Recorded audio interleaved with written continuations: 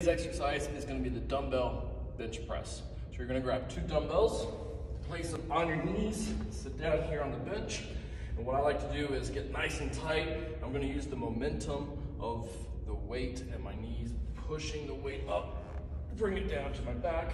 And then from here, plant your feet into the ground, brace the core, squeeze the butt. You don't want your legs just to be loose, all right? You want to be able to drive your legs into the ground squeeze the shoulder blades together. And then from here, we wanna make sure our elbow is in a good position. So we don't want our elbows way out here. That's gonna put a lot of stress in the shoulder joint.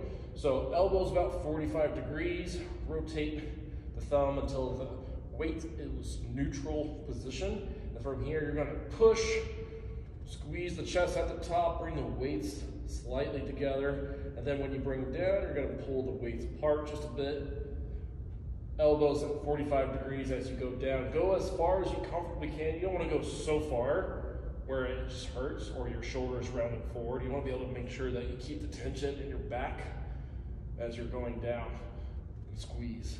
So about right here, I like to where the, the weight is about chest level right here as I'm going down and then push back up. The whole time, my legs driving into the ground, keeping the butt and core nice and tight.